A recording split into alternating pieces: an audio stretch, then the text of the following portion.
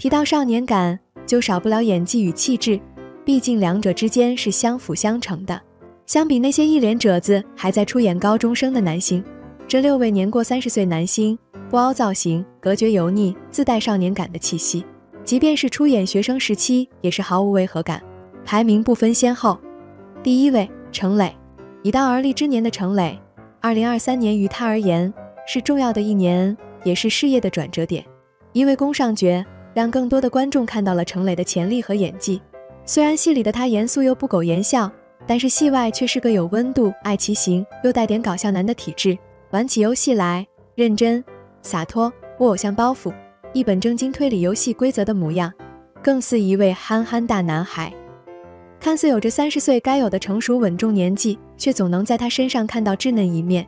一双清澈的眼神，一身绿色休闲套装，无不彰显着青春靓丽。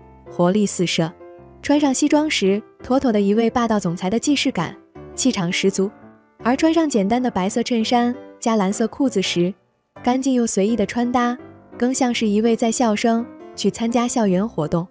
而最近，程磊正在横店搭州也拍摄新剧《锦月如歌》，程磊饰演了六年的短剧，才有了一部长剧《男二》，从而被大家知道。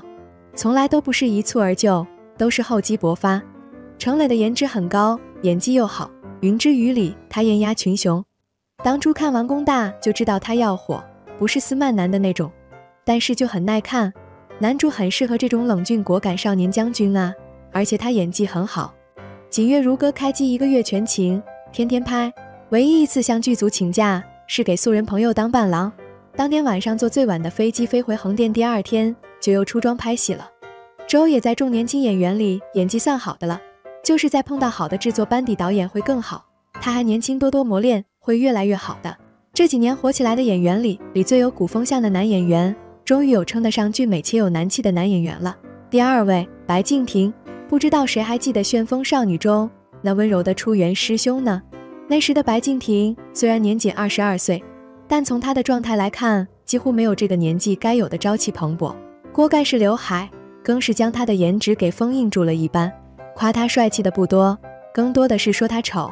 可当陆之昂出现时，明明是同一个人，气质却发生了巨大的变化。红色条纹领带加白色针织衫，活力满满，元气十足，任谁看了不说一句是阳光帅气的少年。虽然这两人角色只有一岁之差，却仿佛有着十岁的代沟。别人是越长越着急，但白敬亭却是越活越年轻。不仅有着帅气的外表，更住着有趣的灵魂。一句“那是另外的价钱不着四六”接成了他的梗，而如今三十岁的白敬亭，有棱有角的五官，褪去了稚气，少年感却远胜从前，颜值达更是达到了巅峰的状态。最近小白在忙着参加春晚彩排，这次和女友宋轶都会登上央视春晚，不知道会不会被拍到同框呢？第三位许光汉，都知道台湾男星很注重保养，单论少年感，却在许光汉身上体现的尤为明显。当穿着学生装的李子维闯入镜头时，那一瞬间的回眸一笑，唇红齿白，如沐春风，如同夏日里的冰镇柠檬，让人回味无穷。无论看多少遍，都符合大众的审美。就光这一个镜头，就足以将人迷得神魂颠倒。无论是从皮肤的状态，还是单纯的眼神，都跟二十九岁的年纪不搭边，堪比高中生本人。而在你的婚礼中，当许光汉再次穿上高中生的校服时，依旧是毫无违和感，他每一个举动都透露着少年时该有的稚气、冲劲、无畏和活力。在中餐厅中，已然三十三岁的许光汉，岁月更是没有他的脸颊上留下痕迹。情绪稳定、不骄不躁、温柔礼貌的一面，一度成了网友心中的爹系加少年感。真的感觉许光汉是逆生长的状态，二十六岁跟三十三岁几乎没有太大的差别。许光汉。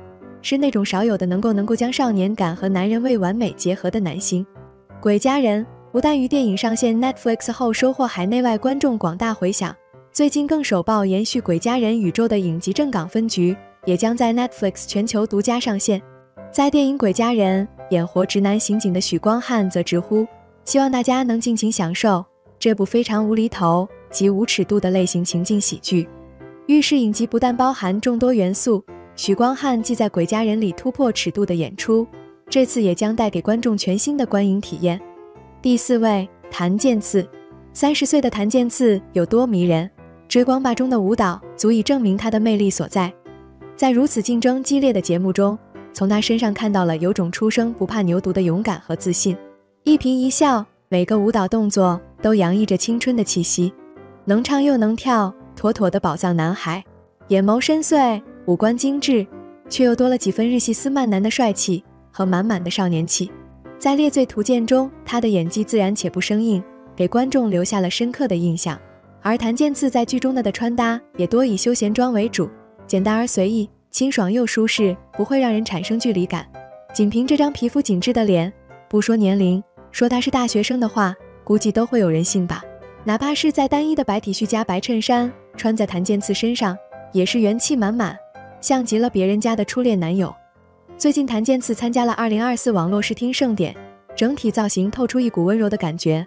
西装造型显得他优雅又沉静，胸前香槟色玫瑰胸针更是让人眼前一亮，简直温柔到骨子里。又是眼睛极度舒服的一天，演唱的《路过人间烟火》舞台也受到大家喜欢。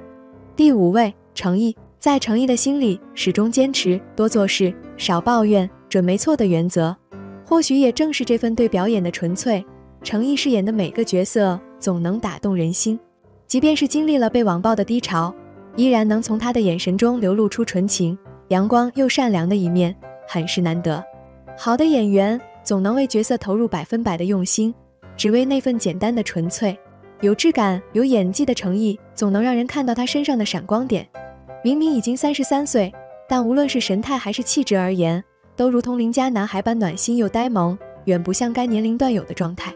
戏里的诚意。总能将角色的少年感拿捏得稳稳的，在戏外，网友却总说，只要是他站在那里，什么都不做，就是十八岁的少年。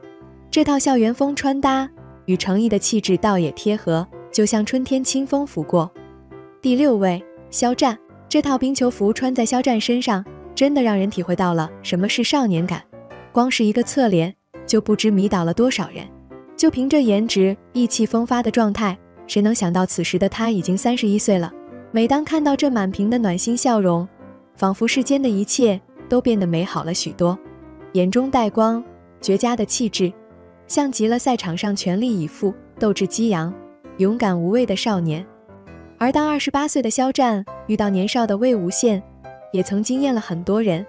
虽然他们身份不同，但却都有少年独有的坚韧。知世故而不世故，明知不可为而为之。只为坚持心中的理想，从高处摔落，跌落低谷，涅槃重生，归来认识少年，不忘初心。最好的夏天中，身穿学生制服的肖战，仿佛是一位温柔的文艺学长；梳上大背头的肖战，如同富家少爷出席宴会，优雅又贵气；放下刘海时，又像是刚步入社会的大学生。或许所谓的少年感，有时真的跟年龄无关，更多的是一种感觉，一种状态。不知道以上这几位男星，你觉得谁的少年感更足呢？如果没有，可以评论区留言哦。